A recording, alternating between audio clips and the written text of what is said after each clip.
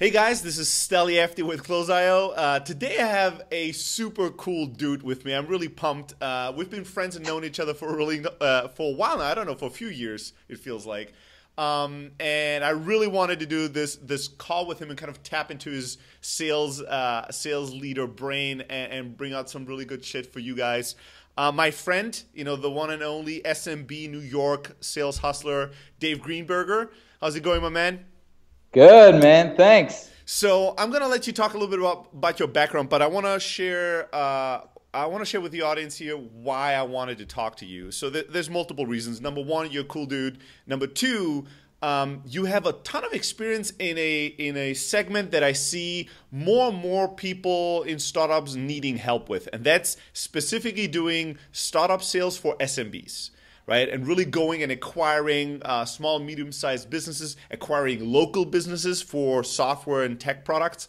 And you have, uh, uh, you know, have a ton of experience in this through multiple businesses and through like being a junior guy and growing to a sales leader in an organization all the way to now being one of the sales leaders at Foursquare, helping them really try out cool new shit and, and, and really push the boundaries of what can be done in SMB and local sales. So uh, tell us a little bit about how the fuck did you get into sales and startups?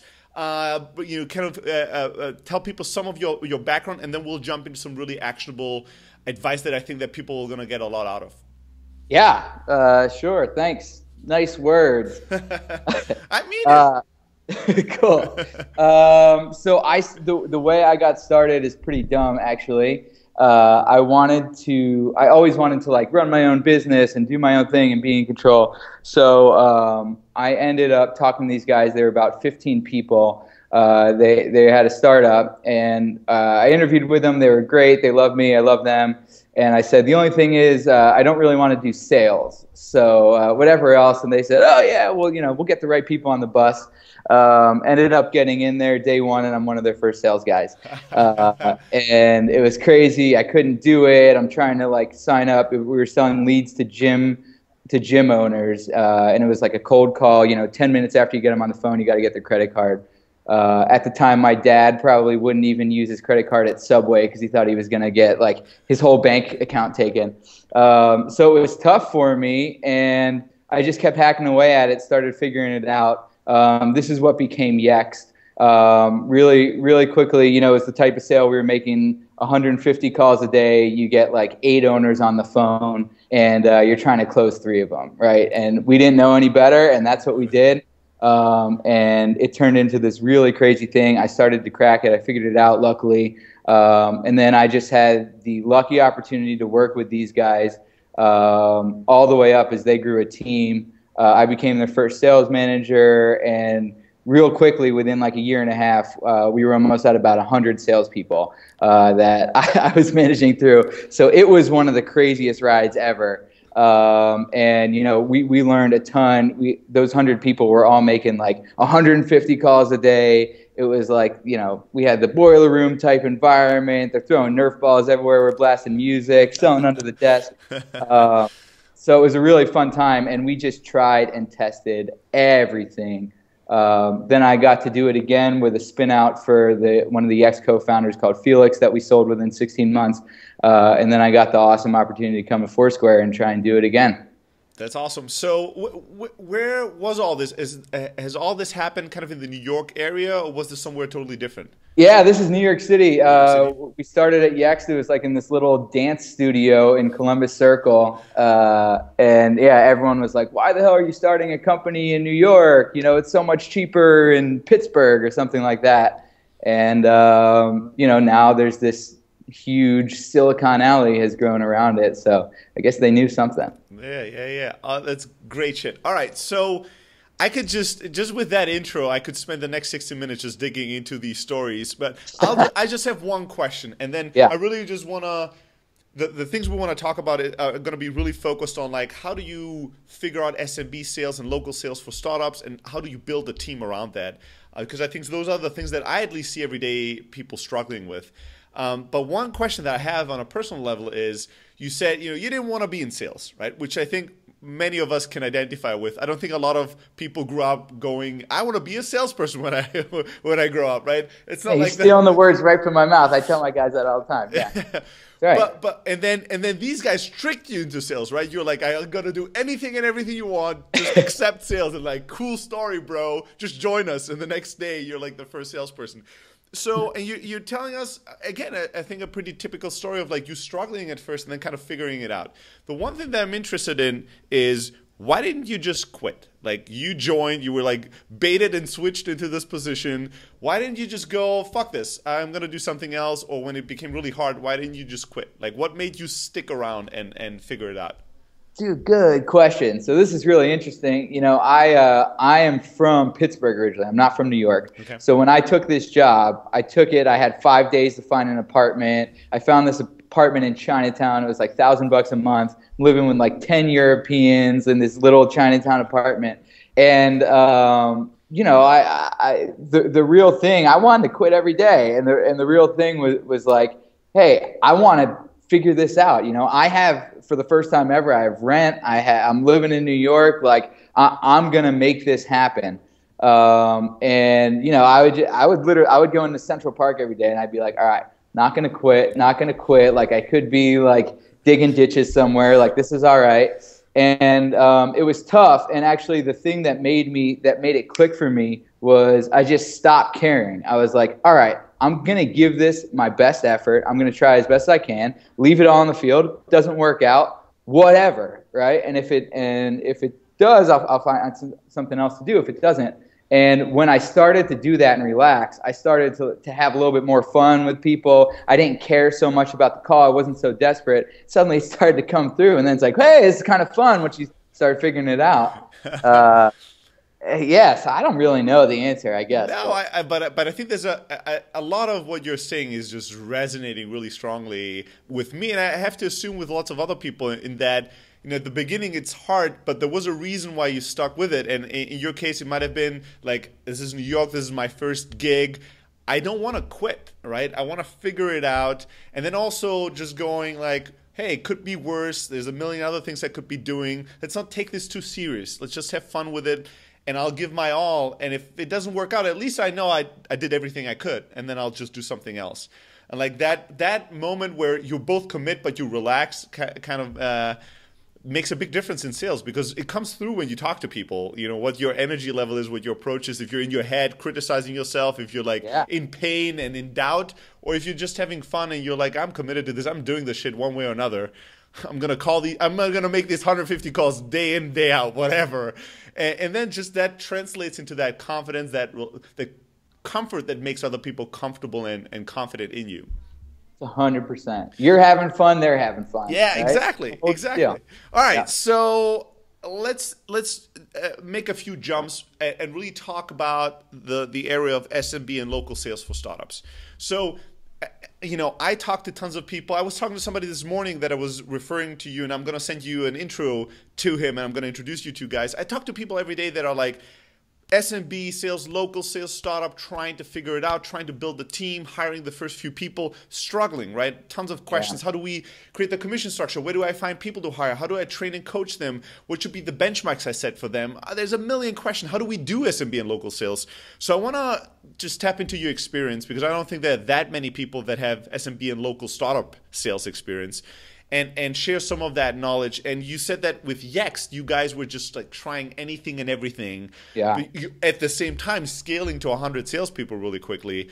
Tell me, let's first focus on some of the mistakes and things that people could avoid. Right? Uh, tell me some of the things that today, as you give advice to lots of people, you see people making uh, mistakes, going about it the wrong way, or thinking about it the wrong way, or things that people should just avoid to save themselves a lot of trouble uh, and, and, and time? Like, what are some of the biggest mistakes people do in SMB and local sales?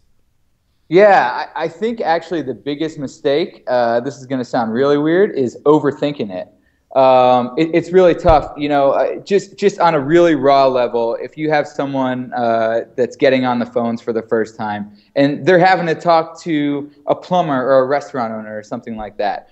Uh, you can have the most like personable, fun guy in the world, really creative, and as soon as they pick up that phone and someone's on the other end of the line, they're they're like you know Mr. Stiff. They basically have a suit and tie on, and uh, hello, Mister. I'd like to talk to you about Foursquare today, right? And and that's actually kind of the the whole problem. No one wants to talk to a guy like that. No one wants to talk to salespeople, and so that's the thing that I I, I think happens a lot, and that we figured out really early at Yext is the more on your level or on the customer's level you can be, the better. And so what I mean by that is don't send an email that's you know uh, five paragraphs long that tells we've worked with four customers and all the benefits that's going on. Send them an email real quick, like, hey, I have some customers uh, that that we were hoping to possibly send over to you. Uh, do you have any availabilities today? Right, and just get that conversation going, and that's what we, we see hits. When you're talking on the phone, don't just don't get the mams and sirs. And I'd love to talk to you about the solutions and optimization that Foursquare has. Just tell them about like hey, I had a quick moment. I thought this might be able to, to, to help you. Uh, give me two seconds, right? And, and that really helps. And so, you know, all along the way, if you can just kind of like stop overthinking things. And one of my, one of my mentors told me real early on, like, don't figure it out, find out, right? Mm. Just get, get out there, get the data out there, try a bunch of things, see what sticks, and then double down into that and keep doing that over and over. And I don't know, that's how we figured it out because there wasn't a model uh, early, early on at Yext.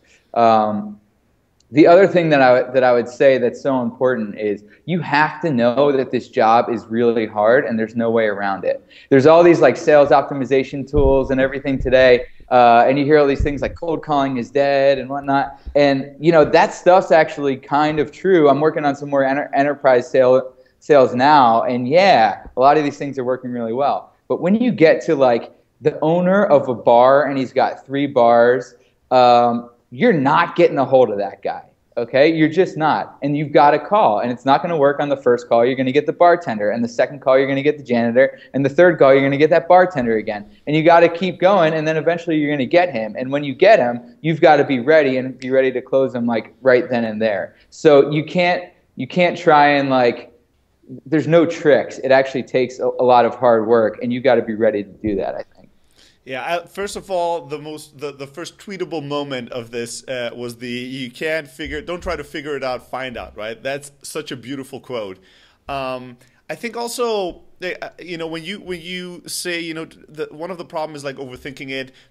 Also, the way that I would describe is trying to sound like a salesperson. For some weird reason, we all don't like the typical the stereotypical salesperson but when we do sales we think we have to sound like that and we're like this weird persona that's like hello mr Blah. it's totally fake so it's bad like, so bad it's like nobody speaks like that same thing with emails. A lot of times I send emails back to people when they ask me for feedback and I ask them, would you ever send this to your brother or your sister or some or a friend? Like this email reads like a generic marketing email that fucking Coca Cola would send to 10 million people. No human being writes like this. Yeah. You know, the subject line is the 10 benefits our business is going to bring to your business. All ca- like capital first. Like, like, who writes? You would never write that to a friend. So just be a normal human being. Speak comfortably. So I think I think you actually uh, uh, wrote this somewhere, and it's something that we used to do all the time we, we would always do uh, the phone test, right? Any kind of email we're sending, we're looking at our phone and we're reading it, and does it fit in that first line under under the scroll? And what we used to try that worked really well is we would fuck with all the subject lines. Like we would misspell things on purpose a little bit. We would like capitalize the wrong thing, and then we would send that out as a blast to 100 people. I shouldn't be probably like giving away these secrets, but uh, it but but that we would get such better responses to that because you're a real person. Like this is how a plumber talks. This is how a bar owner talks and it's on his level and he could just respond back and they'd just respond back like yes no shut up whatever. But at least you're getting a response right? And it was really really good. Yeah i think yeah. that i think that the misspelling thing is like one tactic that just makes you seem like a real human being. Uh, there were other black hat tactics of like having in the footer like sent via iPhone or something like that, which we tested. Just response rates go up.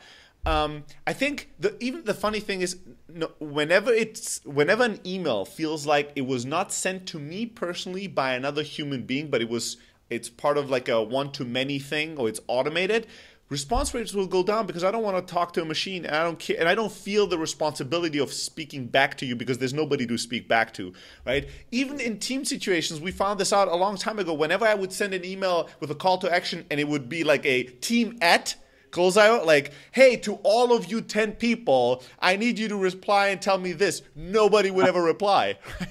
Because everyone waited for the rest of the people to reply. Versus you do the same thing, you send it one by one, and just every single person replies because you feel that, oh, somebody's, a, a human being is talking to me. So the least I can do is talk back and go, no, no interest, or I can't do it. I'll say something back, right? If I truly feel that there's a, a caring, normal human being that's speaking to me.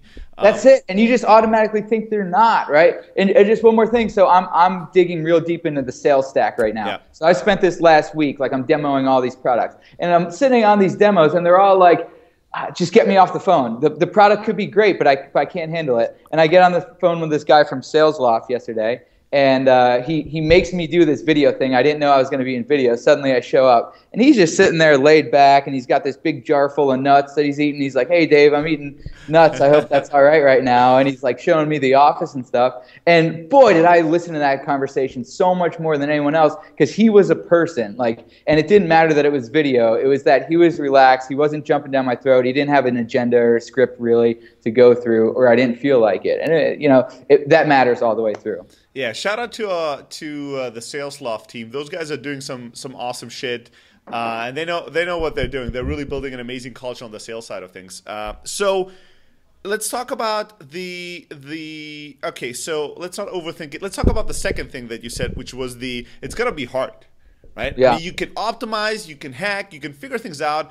Some things, obviously, over years, you built the the the muscle and it, you know and what what feels like a marathon to a newbie is like a little sprint to you right so over time obviously things get easier but it's never easy like the fundamentals are still hard. You have to hustle you have to grind you have to care you have to bring it every single in every single interaction every single day. There's no shortcuts to that. There's no shortcuts to like showing up every day and being consistent and overcoming your own fears. Or even when you have just a bad day where you had a huge argument with somebody that's close to you and you just don't feel like being like on the phone hustling selling well you have to find a way to get over yourself. And, and, these things are hard. There's no shortcuts here and no matter how much technology is out there and no matter how many methodologies no matter how many videos like this are out there to help teach people things you just have to learn that i i, I find it uh, liberating to understand that this is going to be hard the cool thing is that i know that most people don't want to put in the work so if you do you're going to win right? That's really it. But there's no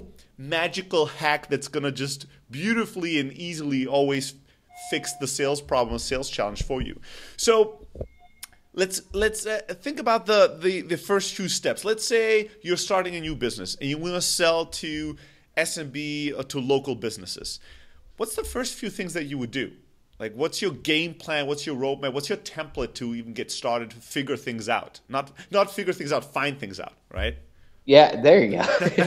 I got like a we got a fire drill going on here. I think so. If anything nice. goes crazy, uh, don't, don't, worry about it. Every, right. Just the drill. All right. Um, yeah. So so I actually just gave a gave a talk about this fresh in my head. So you know, if if, I'm a founder, I, I think the thing that's really really important. You just said it right. The the work is really really hard.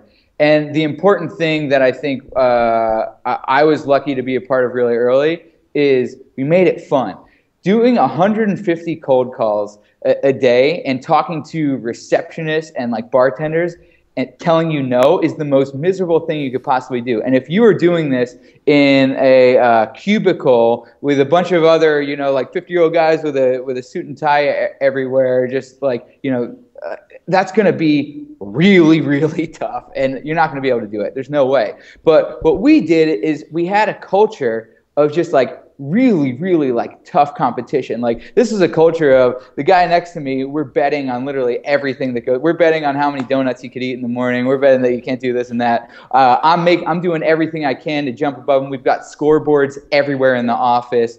Um, my manager did a really good job just to coax us into thing like you know you're you're the top two on the scoreboard we're going out for ice cream. You're the top you know 10% you made your sales today we're going to go for a drink. You know whatever it is and it was really little stuff that didn't take a whole lot of uh, money or resources but really really really made it fun and like competitive to go to work. And then if you're doing that and you're having fun with what you're doing, well, then it's a little bit easier to, to make all those calls because you're not caring so much. You're caring more about the process. You're caring more about if you can keep your hand on the monitor for an hour, that the contest that's going on, or if you can drop in Rick Ross in the conversation, then necessarily you are about just like getting pounded and hearing no, no, no, no, no. And then, as you said at the beginning, if you're having fun, other guys having fun, right? And and that's kind of where it comes from. So I think really the if if you're going to get into SMB sales and know that it's a really hard thing to do and it's an expensive thing to do, the first thing you should invest in is making sure you're setting up the right culture for your team, right? And then if you can do that and you have the right culture and then on the other side these guys that are coming in believe in you and your product, right? So, like, if you're the founder, you've got to be involved in that process. You've got to be talking to these young kids that are on the phone. You've got to be doing all, all, all these things. And if they believe that and they're having fun at what they're doing, they'll run through walls, right? And eventually, you know, I've had kids that made 300 calls in a day. Like, that's crazy. I don't even know how it works. How do you make 300 calls in a day?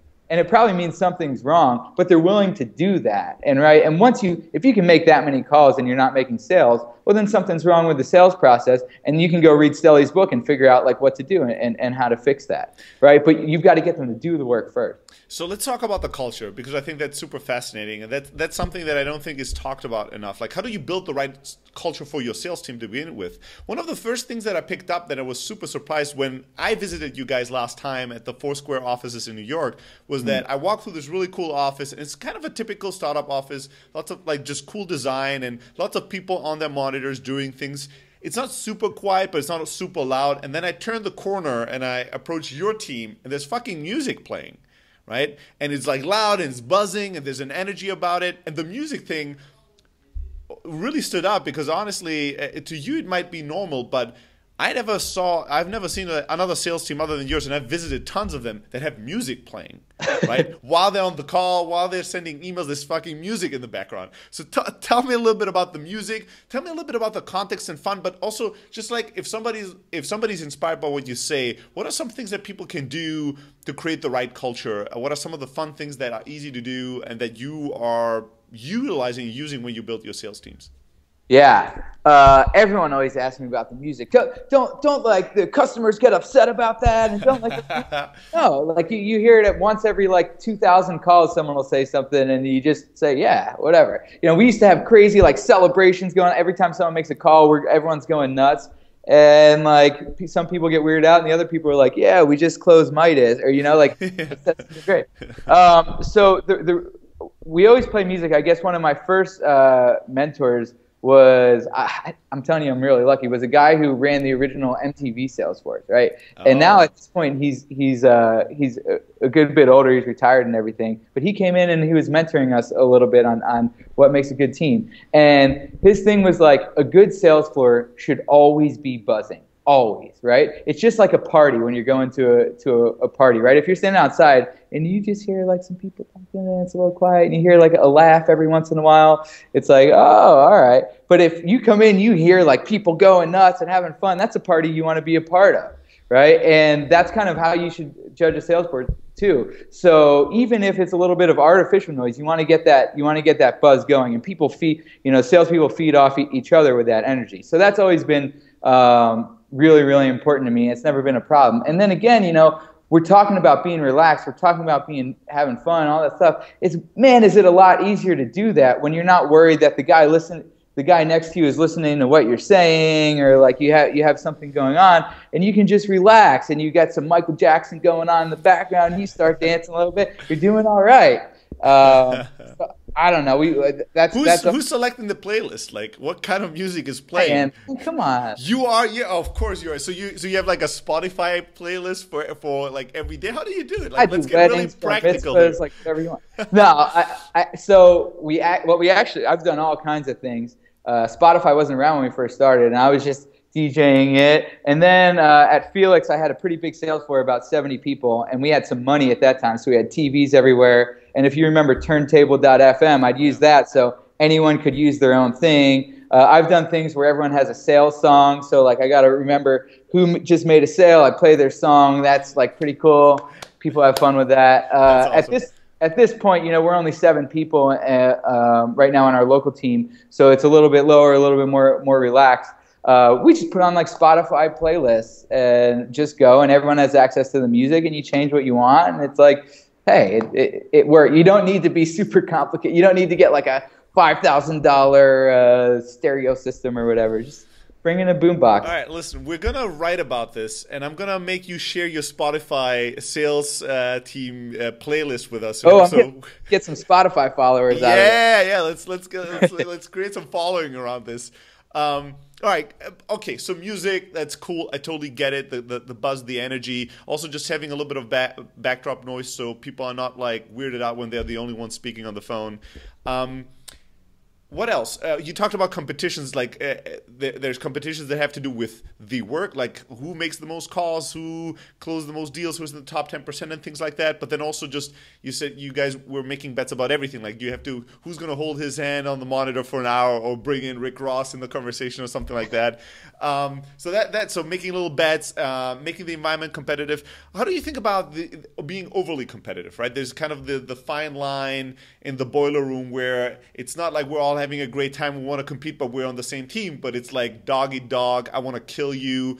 I want everybody here to fail, so I'm the best. Like, how do you balance? How do you create that balance, which is important for a startup team, of like having a competitive, fun, energetic sales team, but not turning it into a hyper competitive and aggressive sales team? Yeah, yeah, yeah. So that that that that's uh, I to be honest, I think a little bit of, that dog eat dog is not the worst thing in the world. Yeah. But the important thing, I, I mean, I think I'm, a, I'm, an economics major, right? So I think everything's about setting up um, the the incentives, right? And if you're talking about a startup, any startup, I don't care, even even with Foursquare, we're we're we're a big company at this point.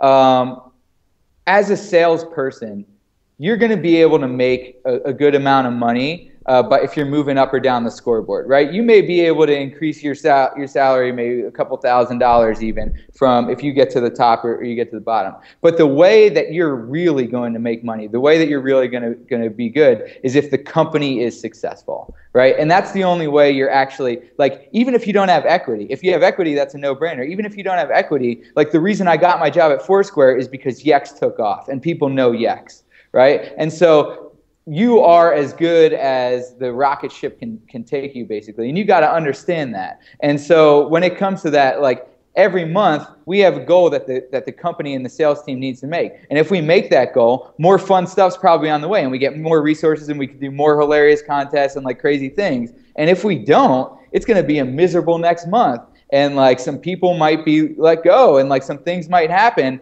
and you know we're going to have to really tighten up and that's that's just for me always how how it works. You know you have a good month you're going to have fun the next month. You didn't have a good month as a as a team we're going to be in trouble and we're going to have to work our way out of it. So it's always been like the team goals like more important. I think that's how naturally it's always going to be at a startup or should be at least. Yeah. So how do you find salespeople to build your SMB and local team. Usually, the, the, the teams that I see that most people build are full of really kind of young, er, you know, early in their career, young people, a lot of times not with a lot of sales experience, right? You're not going out and hiring like the enterprise sales guy from SAP to work on your local sales team typically. So you you look for more like inexperienced raw talent to bring in. How do you think about the type of people you're looking for to hire and who's good in SMB and local sales and where do you source them? Where do you get your talent from?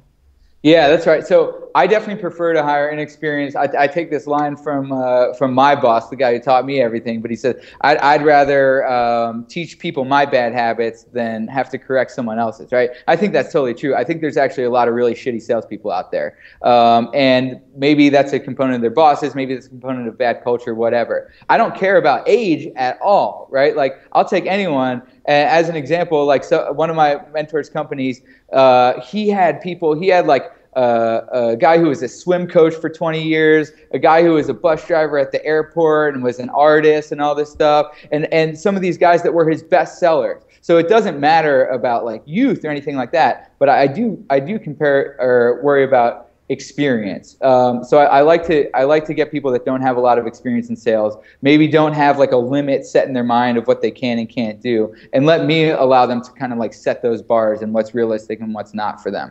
Um, so yeah, I like to do that. Who do I look for? Uh, someone who's like hungry, aggressive, and a, and a team player. If we're hiring out of school, I'm looking for for you know someone who's like overly social, took on too many activities in, in school, whether it's work or job or whatever. Um, I'm looking for someone that's really smart, but I'm not looking for like straight A's. I, I, I want that person actually that got like a B because they went to office hours every week and like convinced their teacher to get that up from the C minus or like whatever it is, right? Yeah. That's those are the guys that I kind of want. And the other thing that I do that I think is really important, I mean, especially on my teams, you come into my offices and it's like, oh my God, this is crazy. There's like music playing. This is so much fun. So everyone kind of wants to work there. And I found that it was really important for me in an interview to actually um, almost scare someone out of a job right? Uh, this is going to be the hardest thing you're ever going to do. It's like, and, and this is all true, by the way. I'm not making this up. You know, I, I tell them that that uh, being on the phone in your first week is going to be like pu- getting punched in the face a hundred times. Like it's really, really tough. And then every single day for the next like year, you need to bring it every day. It's super type A. There's a lot of uh, competition going on. And then I'll even often say like, I don't think you can handle it, and just see what happens, mm-hmm. right? And and you know, there's two reactions you get from that. One is like the deer in the headlights, like, oh boy, like what am I getting into? And the other is like you start to get like, don't tell me, like, don't tell me I can't handle it. Like I can, like you know, the, and, and they're gonna get, get excited about it. And and I don't, you know, I try and do this in subtle ways, you know, not being really aggressive in an interview. Um, but you can really tell a lot from that. And those people that are hungry and that kind of want it and can handle that objection of you can't do it, hey, they're going to be pretty good on, on the phones as well. Um, and, and so that's, I don't know, worked out so far. Yeah, that's awesome. I mean, a lot of the things that you say, I think we're super aligned on like our philosophy to sales and what type of people we're looking for and how we build teams. But what I love is that question. I think that's a super valuable question is to just tell people and challenge them a little bit and go, I don't think you can do it. Like I have, I have doubt in you and see, is that going to make them you know feel challenged and is that something that excites them will they speak up for themselves and go no no no don't tell me what i can or cannot do or will will that like crush them in their confidence? Because if they can't handle that kind of a little bit of a challenge, it's going to be really tough to be on the phone and get yelled at or hear no's all day long, right? It's so, so it's so hard. the other and the other thing that's that I want to mention there too is that I mean, I, maybe other people can, but don't expect to be good at hiring if you're hiring uh, inexperienced people. You know, like I, I would hit on like a 60% rate and be and be thrilled about it. And you and you kind of need to know that up front. A lot of the things we do is actually hiring on a trial basis. Also, you know, you have you have like a training period where you need to make X amount of sales in Y amount of time. Uh, in order to kind of like make the team, and we're just very, very upfront about that, and you and you kind of have to be right? Um, you have three months or, or, whatever the situation is. And that does a lot of things. It gets people like going right away, like right out of the gate, you've, you've got something going, you've got some competition. But um, also, like, it allows people, someone who's never done this type of sale before, it's really hard for you to tell them what it's going to be like and suss out is this going to be good or not. So one, you want to see if they can do it, and two, you want to see if it's right for them. And a lot of times, it's just not the right environment for them, and you need to be like okay with that and allow people to to kind of let them see themselves out or help them get to that number and it's real cut or dry. Hey, either we, we can do this or not, and if we can't, I'll do everything I can to help you find uh, another job somewhere that really suits you.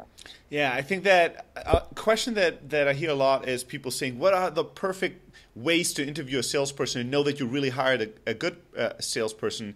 And I always say, I don't think you can. Like, it's like saying, what are all the questions I could ask a basketball player to know if they're going to be amazing in the game? I mean, I'm sure you can ask some questions to figure out who they are as a person, but you need to throw them a ball and you need to see them play in a game against other people. And ideally, you want to see them play for a few games. It's impossible to just intellectually answer some of these questions because sales is a full contact sport, right? And and it's also hard for them to know if it's going to be the right environment. So I see this trial period. I see that being a very successful formula. We do this. You guys do this. Lots of people that have, or lots of companies that build really successful sales teams don't just hire people. And I always say you can't. You've never gonna hear me say the words "I just hired an amazing person in sales. He'll never hear me say that because I don't know. Like I literally, I've I say it all the time, but I'm wrong all the time. I mean, that's fine too, right? You're like, this is the greatest. You're, so now you're hyping them up, and that's cool too. but I, you know, no matter how much I think I know about sales, I never, I, I, at least I never think I can figure it out in a few interviews or in a few days. I, I always think I need to get to know this person and see can they bring it every day for a long period of time and also give them the opportunity to really discover that? Now i wanted to talk to you about this anyway so this is a great segue which is the oh right so we talked a little bit about like the culture the philosophy some basic things and now we started thinking well how do you find these people? How do you think about talent? How do you start hiring them? What do you do with them? How do you coach them? How do you get this inexperienced talent to perform?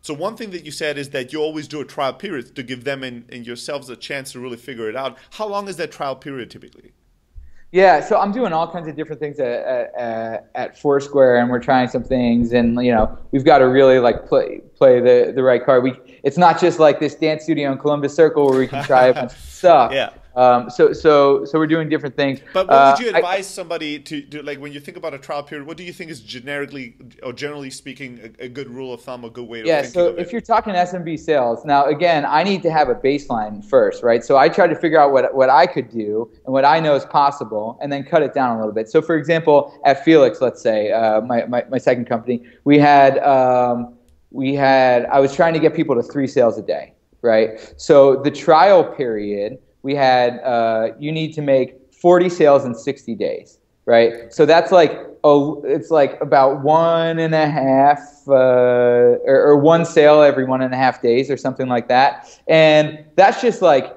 if you can't get there, how am I going to get you up to three, right? Yeah. But it was a really nice uh, kind of like way to step step into it, and it got really hard, right? Because your first day on the phones, uh, it's going to be hard to make. A lot of people do make sales, but it's going to be hard to make a bunch. And it's going to be hard to make a, a, sale a day in your first week. So really, it starts to ramp up towards the end. But I thought that was a nice thing. Like like around 60, 90 days, I think is a really good um, barometer for hey, can this person do it or, or, or can't they? Awesome. What kind of support do you give people during that time? How do you onboard, train them? Uh, get them into the process, coach them to like what does a, a, week by week, what does a week look like with kind of a new sales hire? Yeah, all kinds of stuff. But like if again, if I'm going to bring someone into that type of environment, I better know that I have everything right for them. So like by that time, and you're bringing in an inexperienced person, you can't just say like, go ahead, figure it out, right? You, you've got to have uh, some kind of script for them that you know that that's worked. So whether you've proved that out as the founder or, you, or I've proved it out as the, the first salesperson, again, I know I can make three sales a day. I'm only asking for one. That, that type of thing, that's important. Then what I like to do a lot is just kind of like throw them to the wolves, get them out there. The first week is really just like learning how to get hit, right? Like learning how to take those punches. And then every once in a while, I'm trying to teach them how to like just throw a punch back, right? But it, it's it's a lot of just like learning how to how to hear no over and over and over again. And then you know I have I have a lot of one-on-ones with them. We have a lot of um, training sessions. I have a uh, a five-day kind of like in the classroom little sales 101, a little bit about the product, everything you should know before they get on the phones. And then I'm trying to do one-on-ones with them like constantly. I'm always there to like jump on the phone or, or whatever's going on. So a lot of hands-on. I'll always have at bare minimum one manager to every 10 uh, trainees and try and get more of that. Also do a lot of shadowing with current salespeople, like all, all of that, and backward shadowing. Let the current salespeople listen in on their calls and suggest some things. So you really try. You, if you're going to put someone on a trial basis, you've got to know that you're giving them absolutely everything you can possibly give them for them to be successful. How do you balance that with the pressure to perform? So if I know, let's say, you know, a, a, typical salesperson does whatever it is, right? 100, 150 calls to get to three sales. I know I just need to get to one, but I'm inexperienced, so I definitely still gonna have to do this like 100, 150 calls where in the day do do I fit in the coaching, the training, the learning, all that? Is that just extra curriculum like after the working hours? Or do you just onboard them in a way where the first week they spend half the time doing and half the time learning? How do you think about that? Because that's a struggle that lots of sales teams have. Like every minute of training that's important is a minute of you not doing sales. So how do you balance that? Yeah, I guess that's an interesting question. I I don't think I'm going to give you a good answer. I, I let's think explore I, it. Let's explore it at least because yeah. I, am also I'm also wondering. I don't also have a formula that I think is right for everything, everybody. You know, I, I think I've kind of been all over the place. I like to do a lot of like just on the on the job training, like as you're going, uh, make it happen. Maybe you pull into a room for 45 minutes. Like like to be honest, you can't just make calls uh, for eight, ten hours straight. Like you can't do that. You have to take a break right? And so at three o'clock, it's really nice to have a meeting every day at three o'clock, even if it's just to, to fuck around, right? Like it's just, just good to like get off the phone, like relax a little bit. And so a lot of times we'll do that, and half of it's messing around, and half of it's like listening to things that go on. I like to, with trainees especially, always have kickoff meetings early in the morning. You know, some people might get in at seven and start working to try and get ahead of their numbers, but I'll get in at nine, and you know, I'll, I'll try and have a kickoff meeting at nine. What did we learn before? We have a best here at Foursquare. We have a best practices meeting uh, once a week. It's like what's working for everyone. Share what they're doing or what you're struggling. What questions you have for the team. Um, I, I, don't know. I, I even if you're making 150 calls, you're not maxing out all your time. There's a lot in between where you're doing this, that, or the other. So let's try and make that time productive. Um, I, I, guess that's my theory. Yeah, yeah, yeah. yeah. I, I, mean, you know, uh, there's one thing to to have the perfect answers for everything, but I think it's really good to see that there's certain questions where even people that a lot of people look at you and, myself in many cases like sales experts and sales gurus, and they come with all their problems because we had some success in the past with it but there's some things that there's no clear answer eh, or there's there might be one but we also struggle with it and still balancing in trial and error. There's so so many things that you don't just figure it out and then you just know everything and you have the perfect answers to all situations. And i think that's important for people to also know. Like there's going to be a bunch of shit that you think is wrong or where you're not sure how to do it and that's just life and you'll have to keep marching forward trying to figure it, trying to find out. I always say figure out, but I mean find out. Yeah. but I'm super conscious about it now.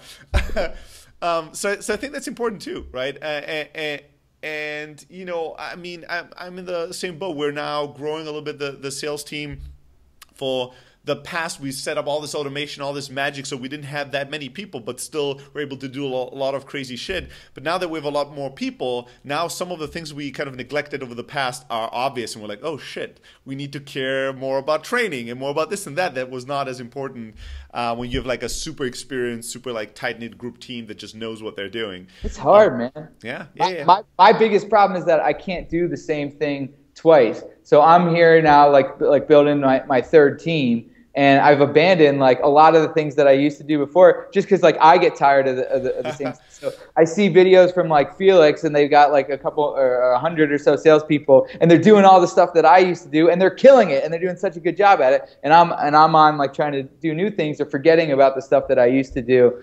Uh, yeah, it's hard. You got to just keep you got to just keep thinking, keep churning. Yeah. Um. So, you know one last question is like so we talked about like the philosophy who to look for to hire how to onboard them uh, how to create the right culture. Once somebody's through that initial bump right they do their their testing period they, they prove themselves that they can be part of the team. You know how do you think about like the the trajectory afterwards especially in smb you know um, i mean there's people that that there's people that will look at this gig kind of as a as a in between doing something else in their life, right? They're just they're not in it for a whole career in sales. There's yeah. people that want to become the best at sales, and there's people that want to grow into leadership and management. A lot of times, people don't really know what they want, or they think they want something out of these three options, but they might be wrong about what they think they want. In reality, yeah. that that thing makes them unhappy. So, how do you think about like developing, coaching, and mentoring? Your sales team wants it's not like super junior anymore and how to think about like helping these people grow. And you had some amazing mentors in the past it seems that really influenced you deeply and what made them really good at it and how did they approach it? So maybe um, just sharing some of that as kind of a final note i think is going to be super valuable. Yeah this one's really hard uh, especially in a startup because when you're hiring your first couple people you're not thinking about about you know two months from now, let alone two years from now, right? You're just trying to get to tomorrow. And so it's it's really, really tough to do. The one thing I think is important too, you're in, in your first kind of sales hire, you're always going to want to hire like really ambitious, really entrepreneurial people, which means they better move up. you better have spaces for them to go. Um, you know, when we, what I learned from Yext and what we did at Felix was we just said, hey, this kind of job, it's it's uh, a year and you're up or out. right? Like this is going to be like a really good training ground, and it actually is. I think anyone that's done local sales at a high level or transactional sale are the best sellers out there. I see it from the guys at Single Platform and Signpost and Yext and like all these like Yodle, all these local sales companies are now just dominating in, in larger enterprise sales here, the people that come out of it. And so that was kind of my thought, you know, a year up and out, up or out. Um, I'm gonna hopefully if there's stuff here, we'd love we'd love to help develop you and get there. If there's not, I'm literally gonna do everything I can to place you in the best possible job because I want my new guys that I'm gonna hire to look and say like, hey, we got guys working at Foursquare. We got guys that you know, we got the CEO of Twitter that used to be one of my uh, Felix reps, right? I'm sure that'll happen. So so that's the, the way like we started to think about it. Um, in general you hope that you can always always keep your team but if you're going to have a team of you know 30 40 sellers there's only like one or two manager positions and probably only a couple of enterprise positions you have.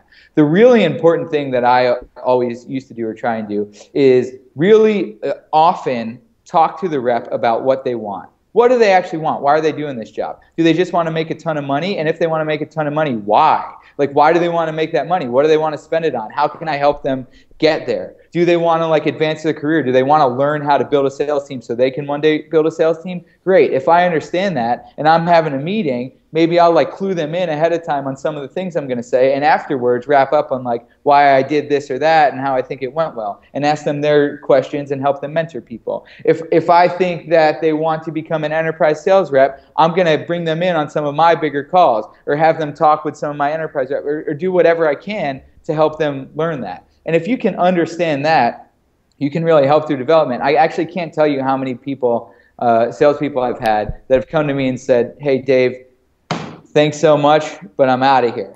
Right? and, and when that happens, if you're going to a great place, I'm the happiest person. I'm not, you know, I want you, but I want you to go off to a great place. And and they've sometimes come to me, and I'm like, dude, don't take that job, right? I don't think so. And they come back and some of those people are still working for me today from Yext to Felix and now at Foursquare, right? And, and so if you can really understand what your reps want and how they, and if you can help them to get there, it doesn't matter uh, if you have the position there or not. They're going to trust you and want to and want to stay with you. And if you have those positions that do open up, you're going to continue to have great reps with you all along the way, and they're going to be happy, hopefully. Yeah, that's awesome. I think that taking that long term approach thinking about the team, even beyond not just the current company, but just thinking about your entire career and saying, hey, I'm up or out, or like if, if the company grows to the degree where we have tons of opportunities for everybody here to grow into higher and higher positions, awesome. If we don't, I want you to keep progressing your career because that's good for us as well. For the business, we can tell everybody, hey, here's what junior sales reps turn into, you know, once they work for us and with us. Yeah. But also good for you. You're building your network and eventually, you know, you you might start a business or join another business and then hire a bunch of these other people and then they bring their teams in.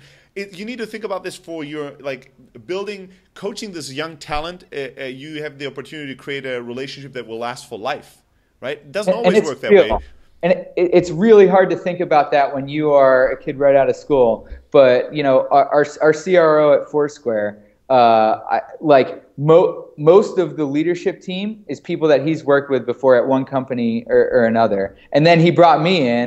And I took three or four guys that, that used to work with me before. That's how it works. Even if they've gone to different companies in between, like if you're good, you're making good relationships. I know you're a great rep. Uh, we're going to cross paths some somewhere down the line. Yeah. So it's important to think about. Awesome. Good shit. My man. Uh, for people that want to get in touch with you, for people that want to get more information about you from you, what's what are all the best ways to get in touch with you? What are the best ways to be connected with you on the web or otherwise?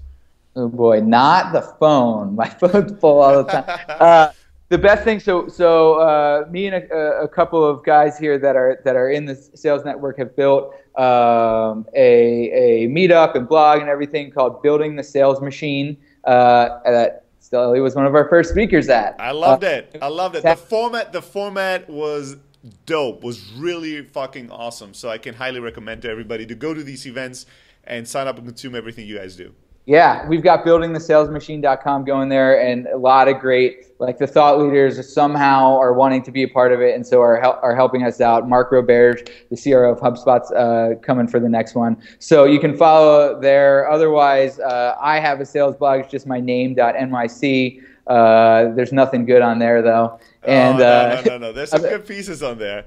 Shut up. Otherwise, yeah, um, Twitter, whatever. However you can get to me, I, I love helping and helping people kind of like build and grow teams. Hey, Dave, this was awesome. Uh, I really appreciate you taking the time and being generous with it and sharing kind of your ideas and thoughts. I definitely know I appreciate it. You you inspired some ideas, and the moment we'll hang up the Skype call, I'll think of I'm gonna be scheming some new things we're gonna be trying out with the team. So uh, good shit. Thank you so much for taking the time.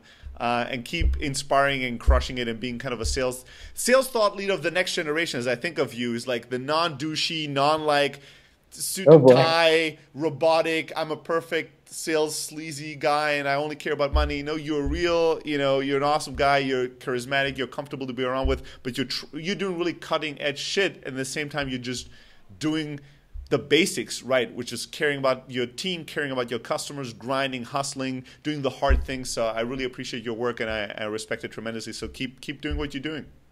Hey, thanks, man. It wouldn't be one of my talks if I didn't say hard work pays off. My guys appreciate that. hard work pays off. That's the quote to end with. Thank you so much. That's right. See you later. Thanks, man. See you. Bye.